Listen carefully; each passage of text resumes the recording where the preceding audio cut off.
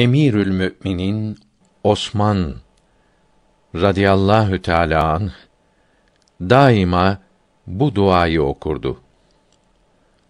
Allah'ım dinimi, İslam'ımı, emanetimi ve imanımı, fercimi, hayamı muhafaza eyle.